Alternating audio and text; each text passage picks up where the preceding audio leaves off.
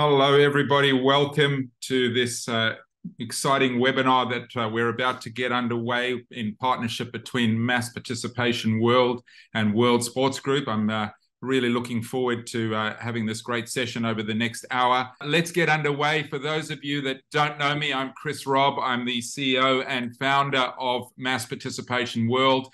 Delighted to be partnering with World's Sports Group tonight um, and Charlotte Melchert, who's the founder and CEO. Do you want to turn your camera on and say hello, Charlotte? Wonderful to have you join us. Hello there. Thank you for that introduction, Chris. I'm so excited to hear that we have so many attendees tonight. Really yeah, really looking forward to the session. We've had over 200 people registered, so clearly your idea is a wonderful one. There's great interest uh, in this, and let me read the topic uh, to make sure I get it absolutely right. Global reach, local impact, master the art of attracting international participants. Uh, really looking forward to the session. We have one hour allocated, um, and the way we're going to break it up, we're going to I'm going to do a little piece on the Mass Participation World MPW 23 conference coming up in Ho Chi Minh City in just three weeks' time. Apologies, some of you may have seen that on the World Athletics webinar, but bear with me just uh, for those that haven't. We're then going to come back to Charlotte, who's going to do a presentation um, on the topic. And all the way through, uh, as I mentioned, there seems to be a problem with the chat, but put your questions in the Q&A. Um, if they are relevant to a particular section, I will um, invite uh, Charlotte just to stop her presentation and answer those. Otherwise, we'll do them at the end. We are live streaming on Facebook and we are recording, so we will make the recording available. We're also live streaming into China. Thanks again to our friends Julia and Jerry from CGX Management. Uh, the presentation will be available afterwards, and we will also be putting up a number of polls as we go through. So um, if you wouldn't mind, just I'll pop them in. Um, give us your response. It'll help to inform uh, the conversation. But I think that's all of the housekeeping. So let me get underway. I'm just going to do a, a screen share uh, with the presentation here. So yeah, just wanted to do a, a, quick share on the MPW 8th edition MPW conference coming up in Vietnam in exactly three weeks time. In three weeks time, we will be at the end of day one. Uh, we're offering $50 off for anyone who joins today. There's a QR code there. Um, or anyone who signs up after today, just use um, MPW2350 when you register. Um, so the theme is future proofing from the grassroots up. And for the first time in the eight years of the conference, I'm really excited to be bringing grassroots sport along to the program. And I guess the question some may be asking is, is why grassroots sports? I've been asked for many years how I define mass participation, and, and I've always defined it along the traditional pillars of the likes of running, cycling, triathlon, obstacle racing, and so on. And, and I had this realization over the last few years if 10,000 people running a half marathon or a 10K or whatever is mass participation, why isn't 10,000 kids and adults playing amateur soccer mass participation. And then I drill down further and I see what I believe are a lot of similarities. We all, both of the sectors deal with managing outdoor events and the challenges, challenges with that. We have a huge reliance on volunteers. We have similar business models where maybe in, in grassroots sports, you substitute entry fees for subscriptions or maybe entry fees if they're running a tournament. We're very much reliant on building and engaging with communities. And I think really importantly, what underpins the work that we do is we create a huge impact on the health and well-being of citizens.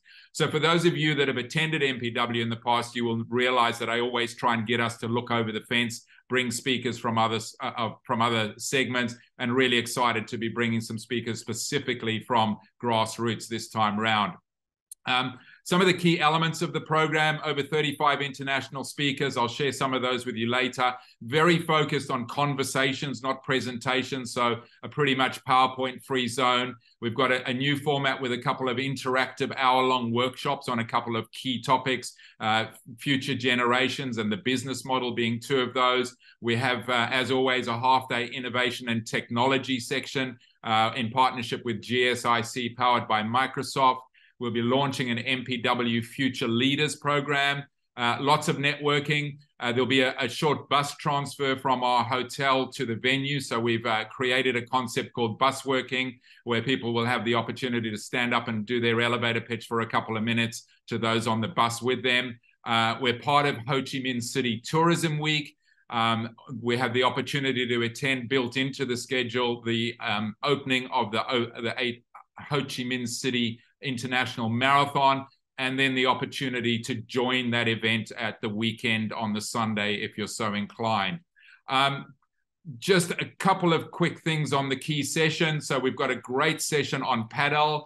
Some of you may or may not have heard of padel, but it's officially the fastest growing sport in the world. And I think there's many things we can learn in, in traditional mass participation. We've got a segment on the role of governments and federations in grassroots, particularly mass participation and grassroots sport. Volunteers of the future, grassroots sport as a movement, Destination Vietnam, it's a really burgeoning industry there. Lots of things happening, particularly from a supplier perspective. Those coming in will be interested to see. We'll talk about Generation Next, our next participants. We'll talk about purpose led risk. Uh, building and launching new concept. We have a couple of great case studies that we'll be sharing there of new concepts. Uh, AI, obviously, very topical. We've got um, uh, Amazon Web Services coming to talk to us and a number of others about the role of AI uh, preparing for the increasing impact of climate change with case studies there, uh, crafting a sustainable business model and ecosystem. Um, these are some of the speakers we've announced. We've been announcing week by week a couple of the key ones there. Um, Scott Levy on the right, the former head of the NBA in Asia. Alessio Punzi, probably known well to many of you. Caroline Darcy, the former global head of sponsorship for Standard Chartered Bank. Um, on this slide, Mike Nishi from Chicago Event Mar- uh, Management, uh, Taylor Host, who many of you would know from uh, his days at Miro AI, and Carol Cunningham, who heads up volunteers globally for Parkrun. Uh, and then the ones we've just announced today, Mr. Lim Teck Yin, the former CEO of Sports Singapore, um, Tim uh, Godfrey, who's joining us from Padel, um, and um, Julia Chui, who many of you would have uh, come across from China, giving us a China perspective. There's the QR code. Um, just give it a quick scan if you would like to get access to the website easily and uh, take that $50 off. But that's enough from me. Uh, delighted I'm about to turn my camera off. I'm welcoming uh, Charlotte back to the stage, the virtual stage. I'm going to uh, hover in the background and uh, hand it over to you, Charlotte. As I said, please, if you have any questions on the way through, pop them in the Q&A. The chat is disabled for some reason, and I'll be picking those up either at the end of the show or, or uh, as we go through. Over to you, Charlotte. Thank you, and super exciting topics for the upcoming conference. Um, today, I'm going to share a topic that we are very passionate about, which are international participants. Um, I will just start by explaining a bit on what we are doing and uh, very shortly about our business.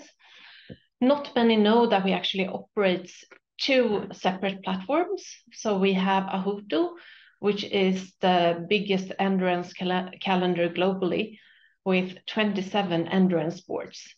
And then we have World's Marathons, um, where we feature running events all over the globe.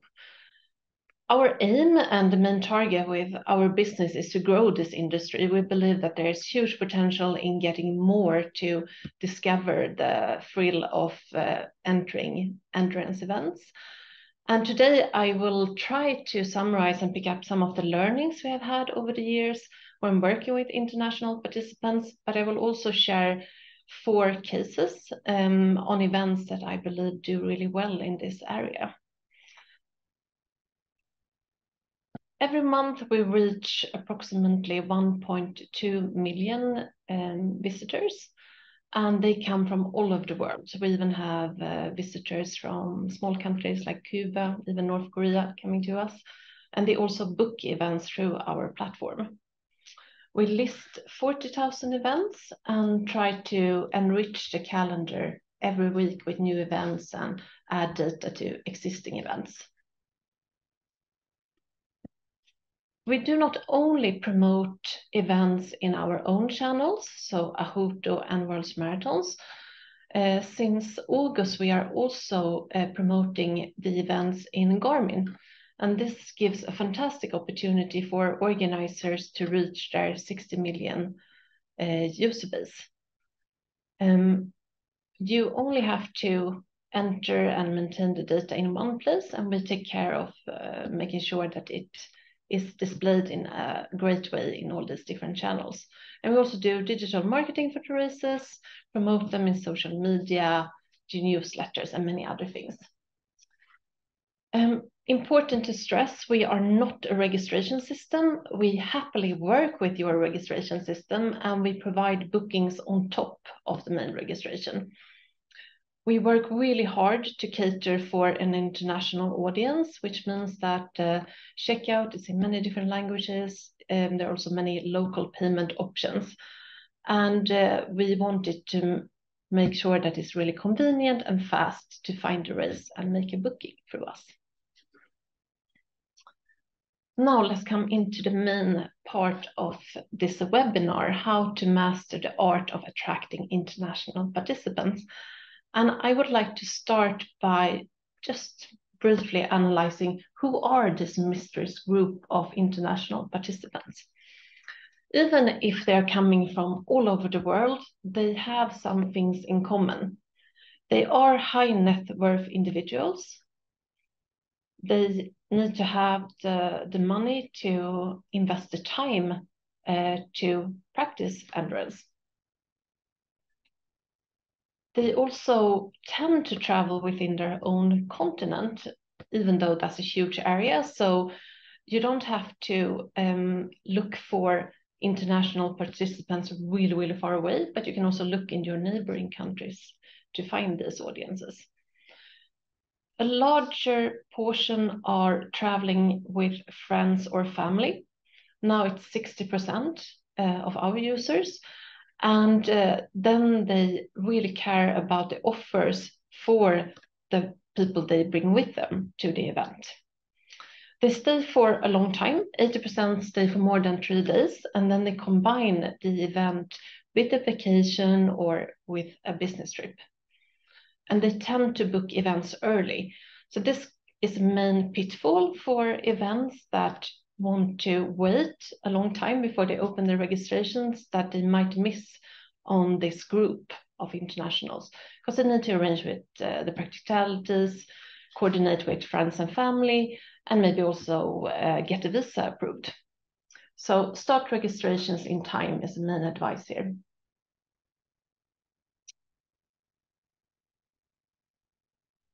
Um, one other quite fascinating thing is how often they participate in events. So the international group, um, 90% in this group join more than two events a year. And astonishing 15% join more than 11 events a year. This means that they have um, participation in both global events international events, but also local ones.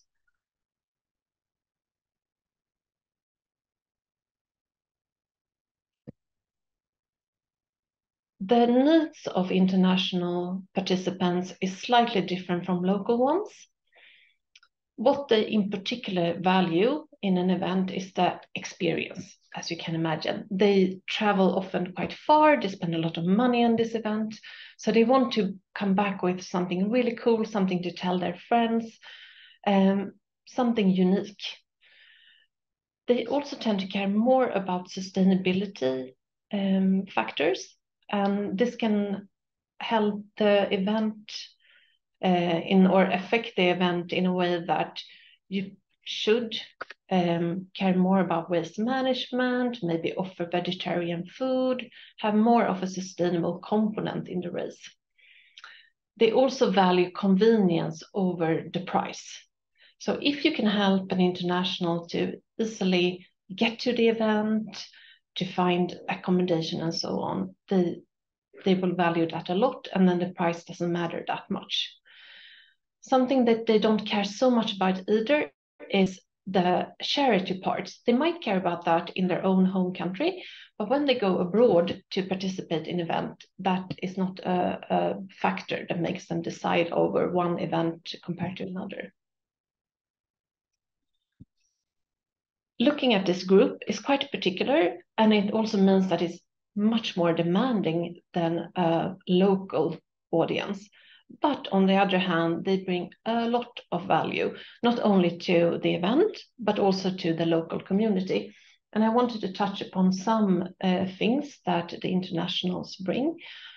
Uh, brand-wise, um, what we have seen is that events that do attract um, international runners or athletes, they tend to be perceived to have a better quality, all in all, than events that doesn't. They can also help to attract sponsors, especially if you target international sponsors. On the actual race day, the diversity that international bring can also help to boost local participation. And revenue-wise, it's a great audience. As, as said, they tend to value convenience, which means that you can sell on many add-on services. They also want to explore the area. You can have other services that they will value and, and buy. And last but not least is the city and uh, or local community element.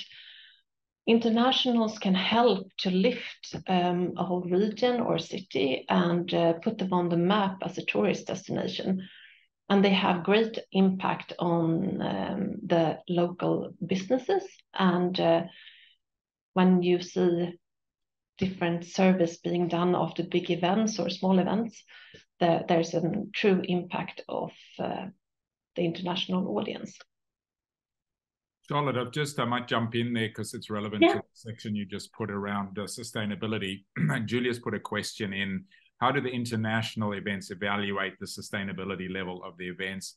Does a Ahotu provide ranking or index?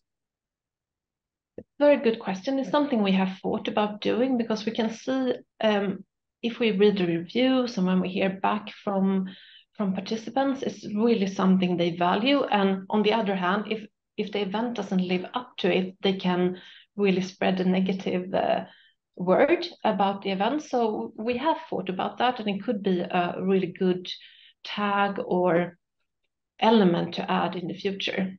So a good point to have it in in the site.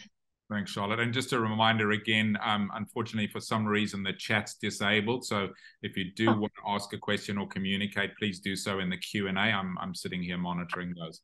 Thanks. Back to you, Charlotte. Mm -hmm.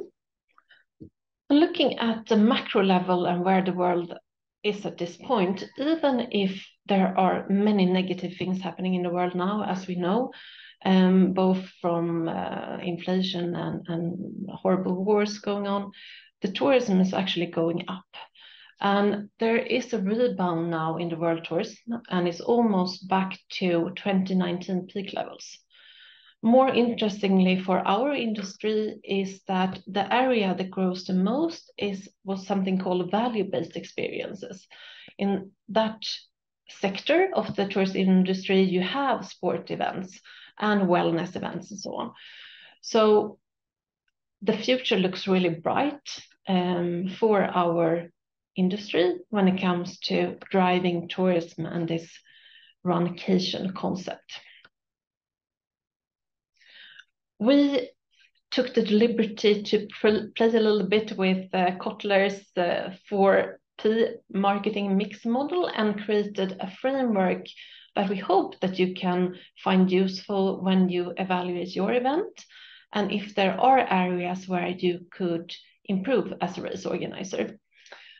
Um, it's a very simple uh, framework. Um, we have the product side where we have the day experience, what's happening before the race and after the race, um, the partners that you uh, find, tourist board sponsors and so on, the people you work with, the promotion mix that you use, the profile and branding of your event, and the price. A really good event don't have to master everything uh, in this slide, but rather find a balance and at least consider all of these elements from an international participant's point of view. Um, something that takes um, that distinguish a great event from maybe a less well-performing event is that they find a few of these areas and they focus on them and make them really well. So that's what I would like to cover in the case section.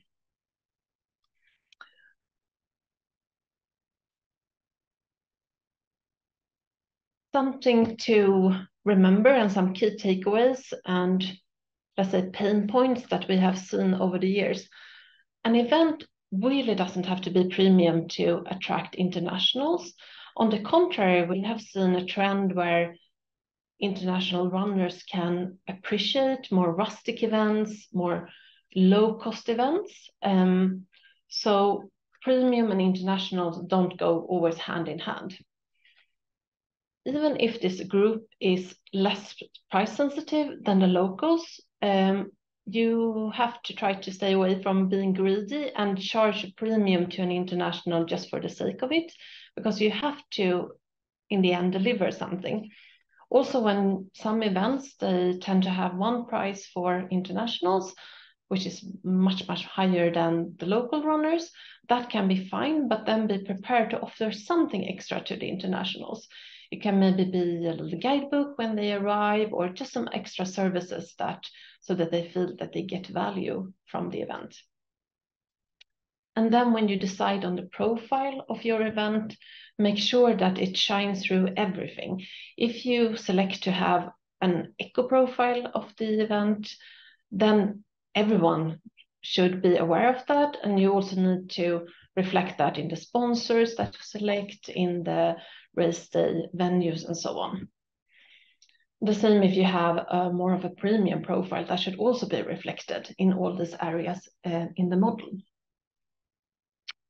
So hopefully uh, this could be used as um, a discussion, uh, base of discussion for your team, and you can find areas where maybe you do really well already today, or areas where you you could improve or even pain points. Sorry, the service make the it's a bit slow to change slides.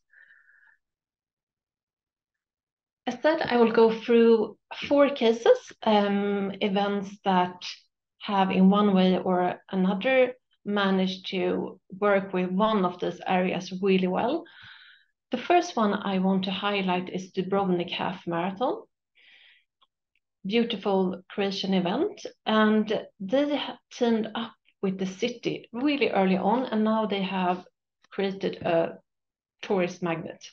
There's so many, um, I think it's up to 80% of all the participants are foreigners that go to Dubrovnik Half Marathon. So what have done they done really well? They teamed up with the local tourist board from day one. And what they uh, did was that they didn't uh, see the event as just the event. They saw it as one part of a bigger vacation. So, and try to cater for all the other parts that is needed for a nice vacation, accommodation, things to do before the race, after the race, and so on. Then they did one other clever thing. They targeted women in their advertising uh, since they often plan family holidays. So even if the participant was uh, the male uh, um, uh, partner in the family, they targeted women uh, for the advertising. So I thought it was pretty clever and it seemed to work really well. They managed to get families coming over for these uh, vacations. Um, then they also early on identify core markets and they saw that uh, the appetite for this type of race could be uh, best appetite could be in for US and UK participants. And they did a strategy for each of these markets. And they did one more smart thing. They teamed up with the sister race in US and then uh, worked closely with them to cross promote, do cross promotion and be part of each other's event in a more visible way. And this helped them to tap into the US market on a fairly low marketing budget.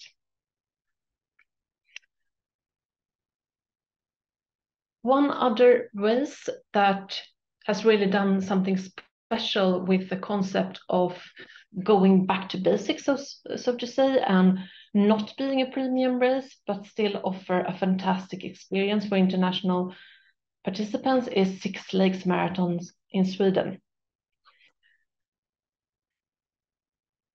They have really stuck to their rustic profile, um, tried to be not commercial at all, um, have an event area which is more close to the nature and, and feels very genuine. And they use the Swedish nature, which people, local people might take for granted, and use that as part of the marketing. They also actually try to approach local expats, and they saw them as a driver to open up other markets. And again, convenience, even if it's a more low cost event or a more rustic event, they uh, very early understood that they have to help the international runners, maybe coming for the first time to Sweden. So they arranged bus transport for the closest city and give loads of information to these um, participants coming in from other countries. And then they also added a kids race and some childcare services just to make sure that families also could join the event. And this event has been really successful, um, now attracting a large international audience and more impressively, they also get the internationals to come back year after year. Then we have one other organizer in Thailand that I would like to highlight, which is Telakal. Um, they have focused a lot on the race day experience and try to understand the appeal of Thailand and, and integrate that really nicely with their events.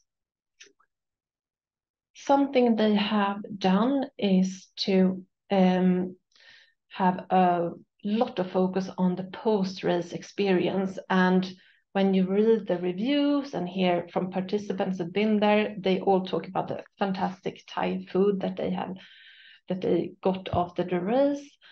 Um, and they also try to help participants a lot that come there. They again the convenience part, having bus transportation, giving some guidance on where to stay and so on. They also realized quickly that they need to broaden the offer a bit. Um, that's also a key learning. If you're very uh, niched and slim in your offer, you also have a smaller target group. So now they've added more distances and extended it to a race weekend. And that has helped them to attract an international audience where there might be a group that are attracted to different distances and different experience, and they can all find something they like. And they try to renew the race every year, adding a gimmick, adding something new, um, just for the reason to communicate and refresh and build up the excitement.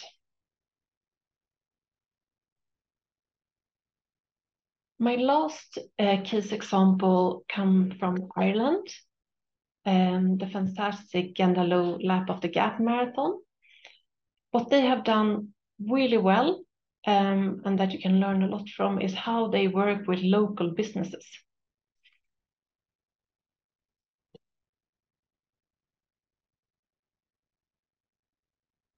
When it comes to hotels, if you have an event in a really large city, it might not make sense to team up with hotels because people are quite used to booking hotels um, in other means and in uh, for other medias.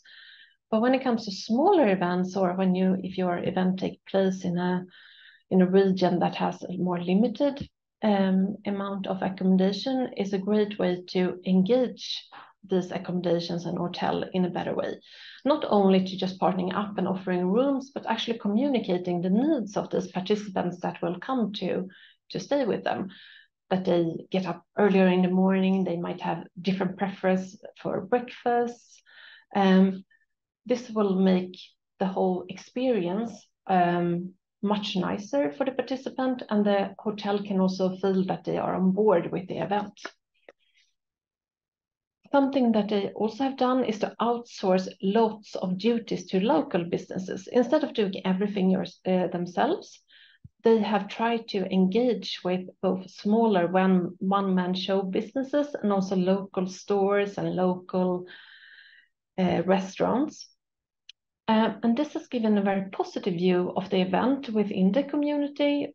And that positive vibe is something that is also visible to the participants going to this event.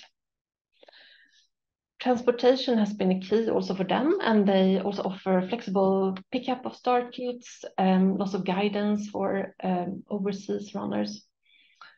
And they try to invest in um, the relationship with volunteers and credit them and highly value them. And all in all, they, they do a fantastic job in building that connection between the event and the community.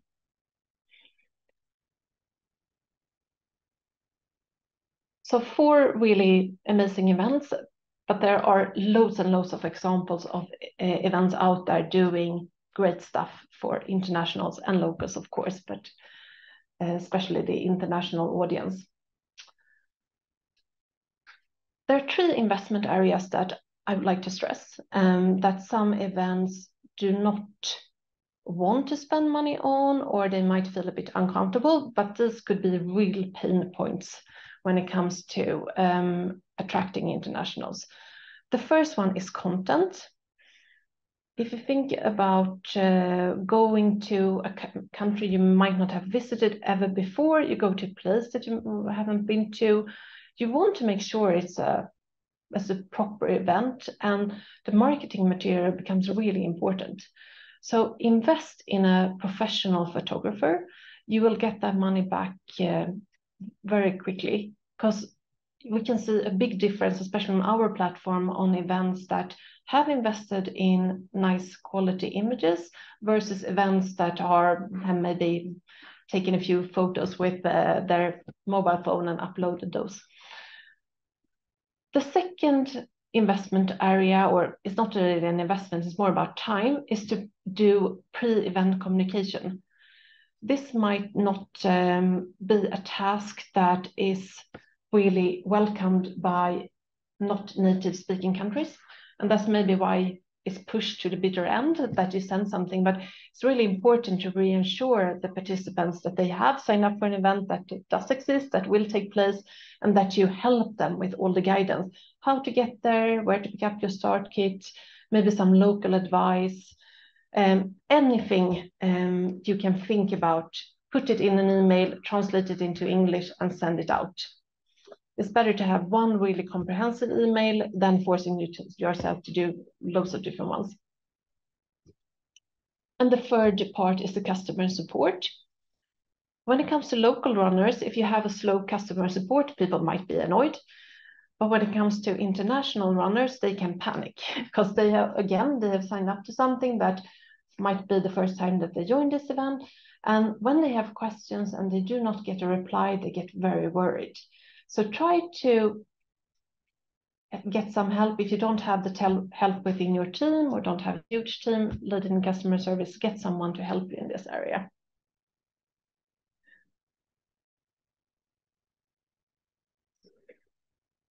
Last but not least, um, the main thing to attract internationals is to be, be unique. Everyone looks for a unique experience and you will find what is unique within your surroundings. Um, it can be your heritage, your local culture, the beauty if you're in a beautiful location. And we'll use that. Sometimes we take things for granted just because we see it every day. But when we package it and communicate it to um, international participants, that's really something they bring with them.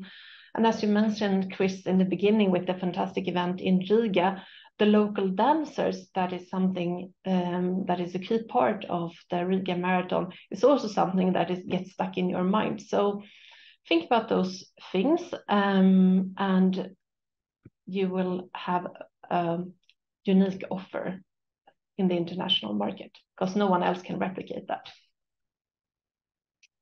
Great, that was all from, from me. I hope you found some, some uh, things useful and maybe it sparked an idea on, on things you can work on or things that you might need to improve within your race organization. And I wish you all the best of luck in your preparations to prepare for internationals. And yeah, happy to take some questions.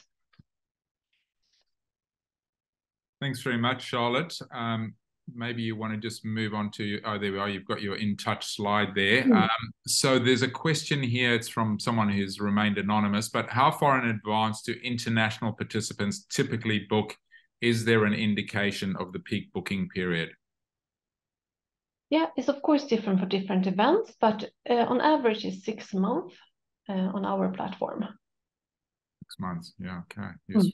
Yeah. Um, please feel free to put some uh, any other comments that you have. I there's a couple of things I picked up that I would uh, I would love to just touch on and, and maybe ask a couple of questions on, please, Charlotte. Um, what interesting for me that it doesn't have to be premium. I think that a lot of people have that perception that you need to create a, a premium event, but what came through in all of those case studies seem to be that importance of uniqueness, fusing in your local culture, your dancing, your whatever it may be. Uh, but that doesn't need to be a, a, a, super, it obviously needs to be well organized, but it doesn't have to be premium. Mm, uh, definitely. Yeah. And I think it also lowers the barrier because sometimes it can feel a bit overwhelming. Oh, how can we put up a, an event that attracts people from all over the world? But if you start to think about those things like what makes you unique, what can we do within our community, those events are really appreciated if they are carried out well. Yeah. Uh, you, you, you spoke of the event in Thailand, which renews every year with a gimmick. Have you got any examples of some of their gimmicks that work really well that other people might be able to copy in inverted commas? Yeah, for example, they have um, given some prize money for uh, internationals uh, um, that can um, do some record time. Um, they have there are some other events, not the Thailand events, but there I know there are other events who have used influencers or more of a famous person that joins the event, and they make a thing out of that. And that can also be a way to connect to a different market, that you actually try to invite someone from a market where you feel that this is actually a group where we can get a larger audience and then they try to get a person from there and then they involve them in the event it doesn't have to be very costly either um, but just building a story uh, around the event that's a great one. And, and, I mean, while you're touching on international markets, you, you, mentioned, and there's a few more questions coming in there, that, you know, the targeting, there were a couple of examples of targeting and, and you know, even targeting neighboring countries. Um, mm. I did some work with uh, Istanbul Marathon a couple of years ago. That was only last year, but one of the things we did is we worked out where the biggest Turkish diaspora was around the world, and you know the biggest population of Turkish people outside of Turkey was is in Germany. And then to really look at overlapping. So this year they went and did a, a booth at the expo in Germany, um, mm. and and you know really targeting where um, you know they're almost kind of preaching to the converted so to speak. So that you know their people in another country might want to come back recommending them. So uh, you know that that seemed to work well for them initially. So an idea for other people to to maybe consider. Um, let me um, just go through here some of these other questions. Uh, it was actually one of my questions but tracy sunderland stolen it from me. Do you need to communicate in multiple language or is only english sufficient? Um it's it's better to focus on doing something really well in English because people usually have translation tools nowadays than overcomplicating it by translating into many languages. The only difference if you have a huge uh, or huge, but a larger portion of participants coming from one particular market, then it might make sense to do a translated message, but then it have to be uh, um, maybe a returning segment that you always cater for. So now, for example, Stockholm Marathon has a, a large audience from Finland, and then they come back every year. And then they have special communication in Finnish. Um, but for the average race, uh, English is is really enough. Thank you. And and you you spoke about the the kind of written information. What about the need for on ground translators? So I mean, you spoke of large Finnish con- contingent. I guess they maybe have some people on the ground, but what what about a need to have people that are available at registration and packet pickup and so on that can can translate? Is how, how key is that? It's important to identify pain points uh, and and that you can if you put if you try to put on the hat of being an international participant and really doing the journey of joining your event and then try to see, identify key points where there can be confusion or the participant might get lost, or it can be the simple as the last bus transportation, uh, where it can be really confusing which bus to choose or so. If you don't have the money to actually cater for uh, the bus, then you sh should invest in having volunteers that help. So, so try to find these pain points instead of having English speaking volunteers everywhere. So that's a quite big effort for, for a, a typical race. Yeah, that's great insight. Thank you. Um, Paolo Leite, uh, how do you see the value of a destination event versus a branded event? Point being the brand helps to sell the event, maybe, question mark? Yeah, uh, of course, some brands are are really strong, uh, but they have also put uh, invested a lot of money to to build that brand. If you are an independent race, um, you might will most probably not have that kind of money to build that brand awareness. So then using the destination and what you have locally might be a better strategy. But of course, uh, the, the, the, the value of one doesn't take out the value of something of the, the destination events and the branded events can really coexist. And they are strong in their own grounds, so to say. Thank you. Another one here from Julia Tree. Uh, what are the top countries the users of Ahotu are from? We have a very even spread throughout the world, but the main user groups are Americans and uh, Brits. So they consist of 20% of our users, but the rest is the long tail of, I said, 195 nations. Thank you. Um, anonymous attendee again. Which countries' nationalities are spending the most on overseas races from your experience? Maybe that goes back to that same answer you just gave. You yeah, I, I, I, get some kind of, but to be honest, uh, the if you look at this group of international, the international audience, they are pretty similar, independent of which country they come from. So even if they come from a country that might not uh, be um, on top uh, and really wealthy, they still are a wealthy group within that country. So the similarities, you cannot really see a group that spends more than, than others in this particular audience. Oh, interesting. Thank you. Um, Paolo, Leite again, are you seeing a trend and success in digital assets versus regular merchandise, finisher t-shirts, medals, etc.? This might, this is actually not an area we have investigated that much. We, we try to keep our offer quite simple and the, also let the organizer offer things on, on the side, maybe post uh, pre the race or on the race day and we don't try to integrate everything on our side just to make it a very simple booking process. Um, so we haven't really analyzed that too much to be honest. Maybe chris you can give some insights there. Yeah to be honest i'm i'm i'm not sure either. I mean i think there's definitely um, you know and, and, we've got a we've got a um, an environmental question coming up as well around carbon footprint. But I think more and more events are being aware of that, and I think you even in you know what people value, you highlighted the fact that it's the experience and it's not necessarily uh, the the monetary things, but. Mm. From a digital perspective, I'm not not hundred percent sure. I've seen uh, you know NFTs and that kind of thing in small amounts, but um, Paolo, I, I, don't have any conclusive evidence to say that it's uh, that there's a massive growth in that space. I still see huge value in metals in many parts. Mm. T-shirts definitely I, I think that that's uh, really becoming questionable um, from from the perspective of you know what what people like, uh, whether they end up being a, a, dressing gown, a night a night shirt, maybe is a better better example, um, and then people becoming much more aware of the environment environmental impact of those. So I think those are less appealing, but are they being replaced by digital assets? Yeah, certainly seeing you know stuff starting to happen in the NFT space, but not not a massive movement from what I can see.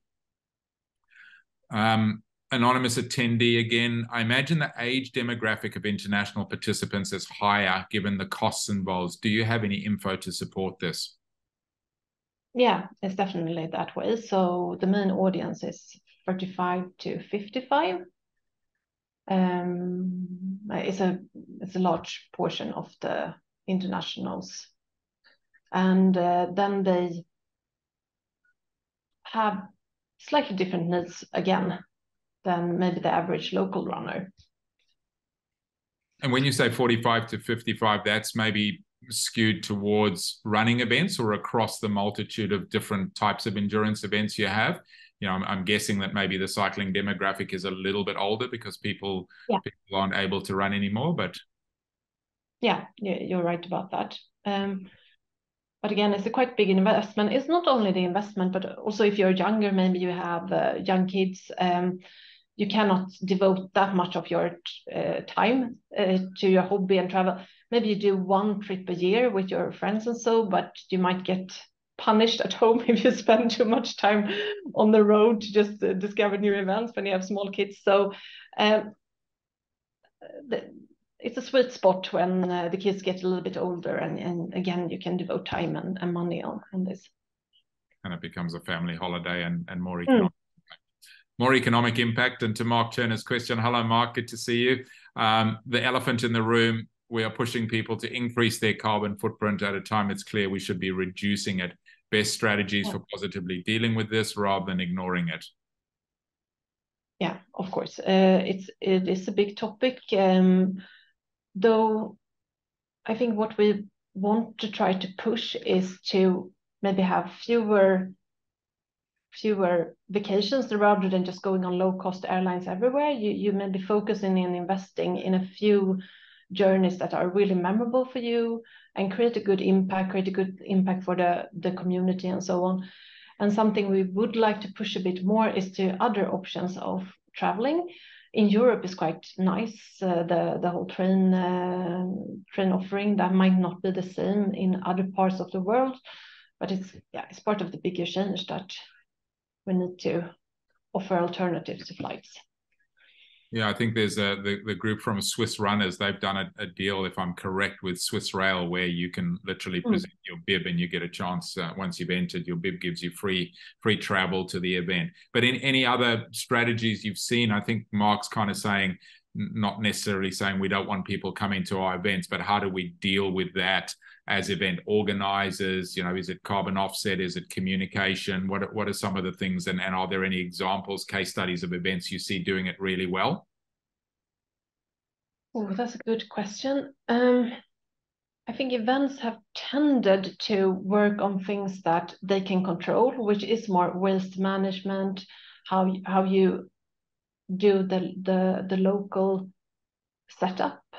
And handling carbon offprint and so is quite tricky for a, a, general smaller event. And that's why we maybe haven't seen any really impressive examples here. It would be nice if the bigger events actually could lead the way uh, and test some concepts that works. And in the airline industry research shows that people are more uh, happy or more um, willing to pay for the carbon offset so the trend really goes in that direction and uh, yeah. Yeah so i guess what you're saying give give people the opportunity um, to be able to offset uh, rather than necessarily expect them to do it themselves.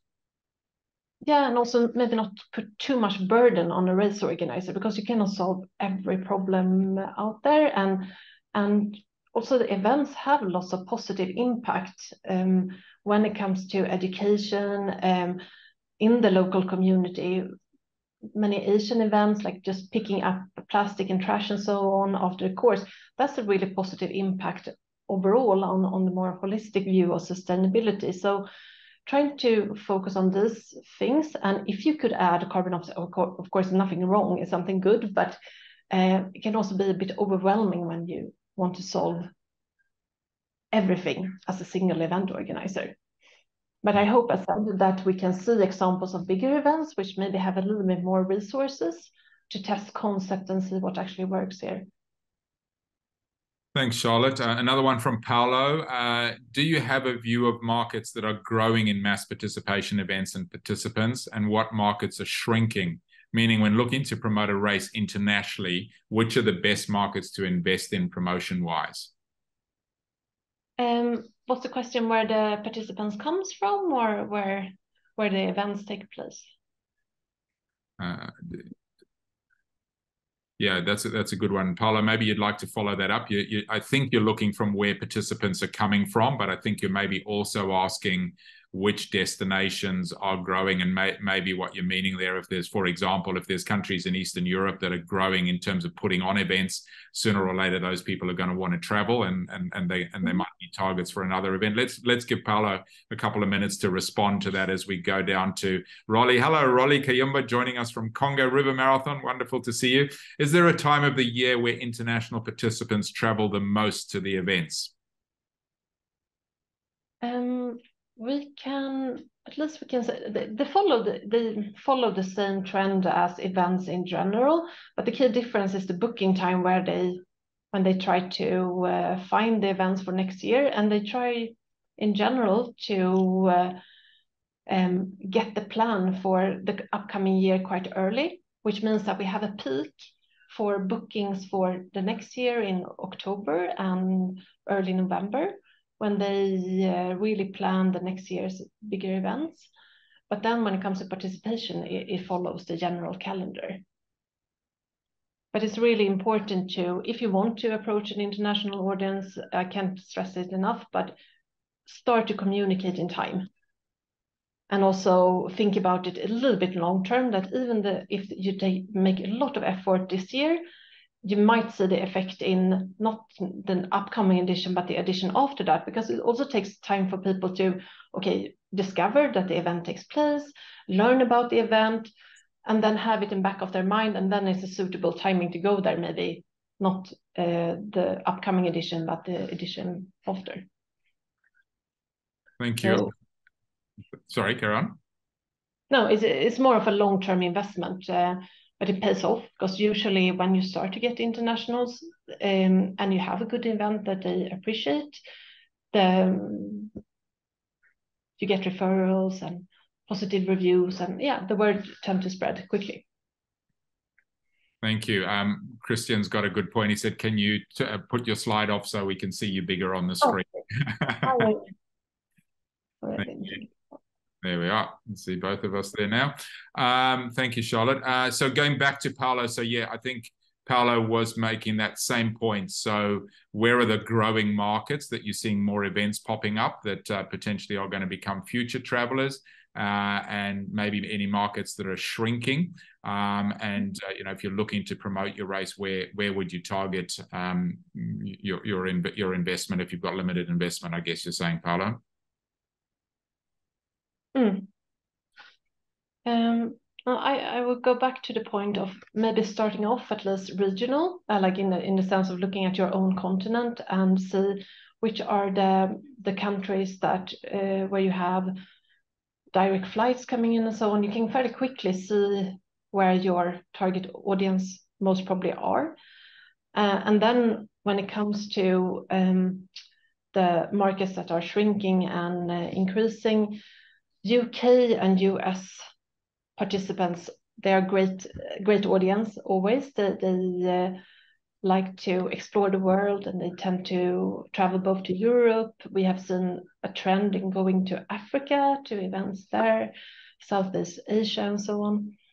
Um, there are some markets that do really that, that are coming back after COVID, and the events are kicking off, but we don't see the influx of international. So China is one of that ex example of that. Um, US maybe as well, that the market is coming back, but internationals have not started to come yet to the events. So a little bit slower there. Also Southeast Asia used to be an extremely popular destination for for foreign runners, but now it's been a little bit slow this year, but hopefully that will change. And maybe it can be still an effect of the COVID. Thanks, Charlotte. Uh, got, I think last one here. We've, we've got about three or four minutes left. So if anyone's got any last questions, please pop them in. Um, you might have covered that in your last one, but let me read Mark's question. Are Americans traveling more to sports events in Europe than before? It's my impression, uh, data that I have. Would, would you back up Mark's thoughts? Yeah, it's a, it's a very large and growing audience. And they, uh, yeah, they, they really value the events as well which is nice. Like you, when you see the reviews, you hear the feedback. They uh, are generally very positive towards these European niche events that they find. And, and it's amazing if you, especially if you're a smaller event and uh, as Six Lakes, to take that example again, that have managed to capture an American audience. And now they can grow that. It's amazing. It's just a small event in, in Sweden, and they have still captured an audience that is growing and helping them to sustain growth within the event. Thank you, Charlotte. We are literally almost bang on time. I think we got one minute, so perfectly managed. Thank you for putting all those great questions into the end. Um, for for the audience. Thanks everyone attending. Uh, we were talking before we came on air that we might make these uh, these maybe on an ongoing basis. So if uh, if you found this valuable, if you've got any particular topics that you would like us to cover that you think Charlotte and World's uh, sports groups can help you with, please uh, let us know. Um, you know how to contact me. If you don't, Chris at massparticipationworld.com.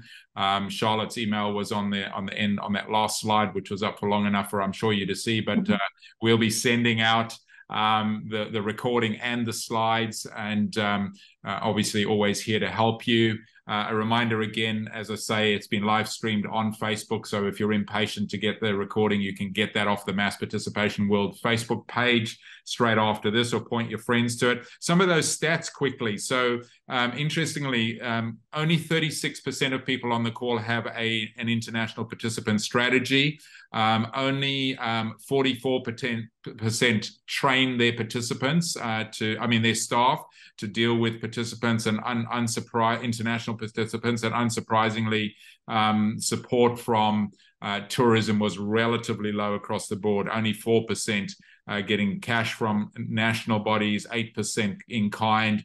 Cash from local was 15%, in kind 30%, and 59% no, no support at all. So maybe that's opportunities. Maybe I know it is difficult, but maybe it's opportunities to go and tap on uh, on those doors.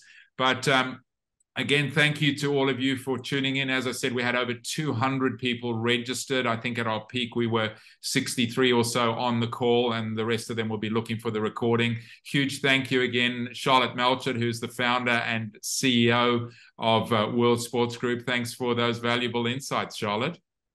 Thank you. Thank you so much for, for setting this up with us. Wonderful to partner with you. And uh, again, I'm Chris Robb. I'm the CEO and founder of Mass Participation World delighted to see so many familiar names. Uh, look forward to hopefully seeing some of you in three weeks' time in Ho Chi Minh City for the eighth edition of Mass Participation World. Um, remember that there is a $50 discount uh, from tonight's call if you're interested.